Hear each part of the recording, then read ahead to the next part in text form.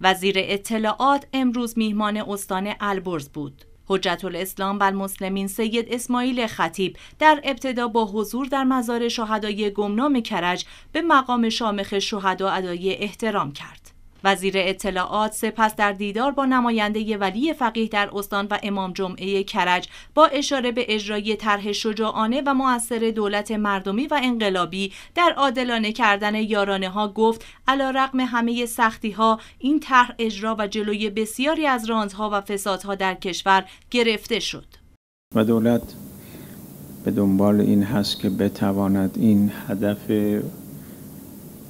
جدی خود و اصلی خودش رو به اون اینکه بتونه در شرایط بهتری وضعیت معیشتی جامعه و اقتصادی جامعه رو فراهم کنه.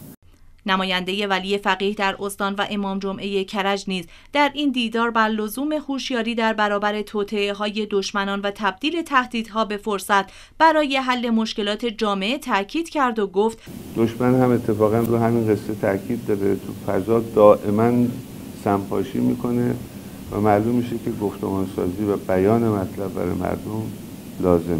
وزیر اطلاعات در ادامه با حضور در شورای تامین استان به تلاش های دشمنان برای نفوذ و تفرقه افغانی در کشور اشاره کرد و گفت کل بودجه کشور شما بگذارید. بودجه این سرویس های اطلاعاتی که در رابطه با ایران فعالیت می‌کنن بیش از این بودجه است. استاندار نیز در این نشست به برخی مشکلات استان همچون های عمرانی، آب، برق و حاشیه نشینی اشاره و اظهار امیدواری کرد با اجرایی شدن مصوبات و تخصیص اعتبار سفر رئیس جمهور به استان این مشکلات رفع شود.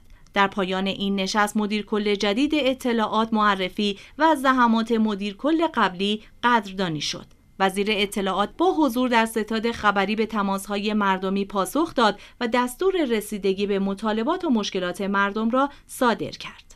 ادهم خبرگزاری صدا و سیما کرج